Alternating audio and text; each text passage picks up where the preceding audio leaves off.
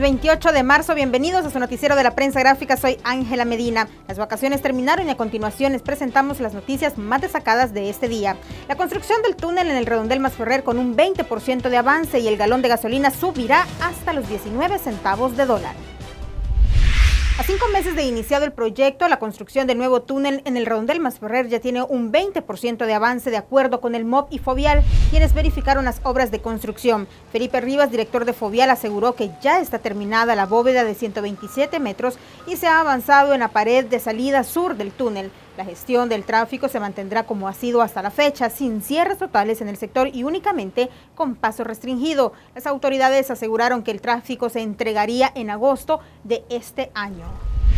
Y ponga mucha atención a la siguiente información y es que el Ministerio de Economía anunció este lunes que a partir del martes 29 de marzo el precio del galón de combustibles aumentará hasta 19 centavos de dólar. Esta es la segunda alza en los combustibles después de varios meses de reducciones que oscilaban entre 1 y 3 centavos de dólar. La gasolina especial subirá 18 y 19 centavos por lo que el galón costará hasta 2.71 dólares, mientras la gasolina regular incrementará su costo entre 17 y 18 centavos y el diésel subirá 6 y 7 centavos de dólar. Los precios se mantendrán vigentes desde el 29 de marzo hasta el 11 de abril.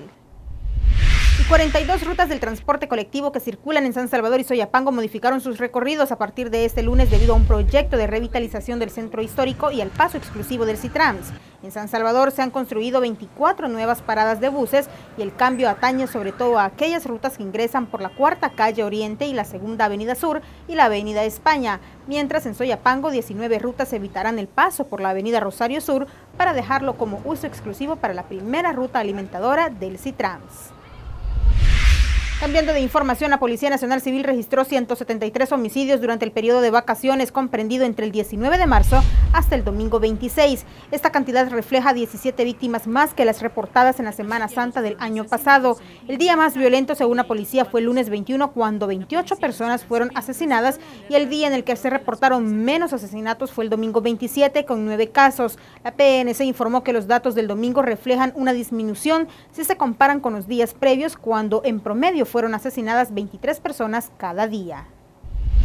Y no se pierda nuestro noticiero G de Deportes porque Milton Jaco nos informa desde San Pedro Sula todos los pormenores del partido que enfrentará la selección nacional de El Salvador ante Honduras este martes.